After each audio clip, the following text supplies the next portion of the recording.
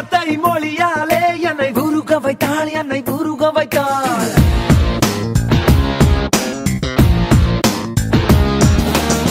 ஒரு பார்வை வழியாலே என்னை நெருங்கி விட்டாள் என்னை நெருங்கி